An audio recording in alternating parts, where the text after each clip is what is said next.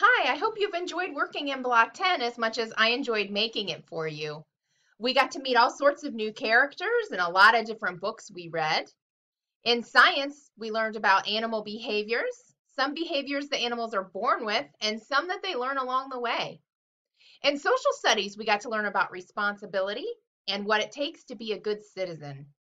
As we move into Block 11, we're going to learn even more about animals and animal conservation, which is how we as humans can keep animals safe from extinction. In Block 11 for social studies, we're going to learn even more about being a good citizen, and we're going to study some important citizens from history. So stay tuned, and I'll see you there.